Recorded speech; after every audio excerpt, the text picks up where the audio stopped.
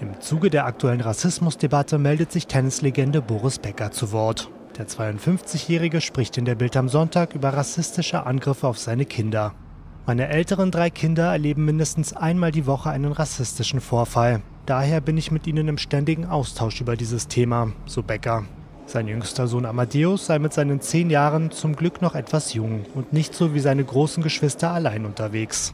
Beckers andere Söhne, Elias und Noah, sind 20 und 26, seine Tochter Anna 20. Noah war 2018 von einem AfD-Politiker diffamiert worden. Der dreimalige Wimbledon-Sieger Boris Becker war kürzlich wegen seiner Teilnahme an einer Demonstration gegen Rassismus in London massiv kritisiert worden und hatte sich darüber bereits schockiert gezeigt. Aus Deutschland sei er aufs übelste beleidigt worden, so Becker zu Bild am Sonntag. Über die sozialen Medien erreichten ihn Zitat nichts als Hass und Häme.